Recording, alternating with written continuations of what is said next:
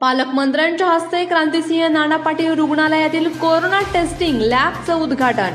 रोज तीनशे ऐंशी जणांच्या नमुन्यांची होणार तपासणी.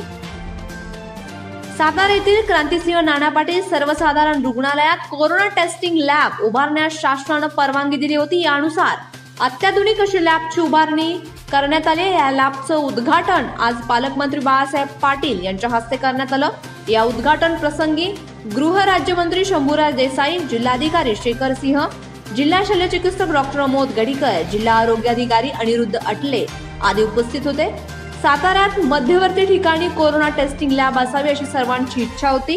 क्रांतीसिंह नाना पाटील सर्वसाधारण रुग्णालयात लॅबच्या उभारणीच्या प्रस्तावाला शासनाकडून मान्यता आणि निधीची पूर्तता झाल्यानंतर आज कोरोना टेस्टिंग लॅबचं उद्घाटन झालं. कालच आरोग्यमंत्री राजेश टोपे यांनी कराडमध्ये आजपासून लॅब कार्यान्वित होईल असं सांगितलं होतं.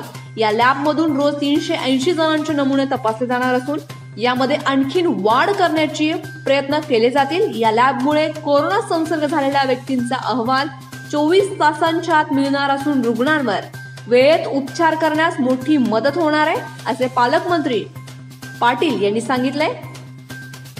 प्रतिनिधी समीर मेंगळेसह एव्ही माझा वाई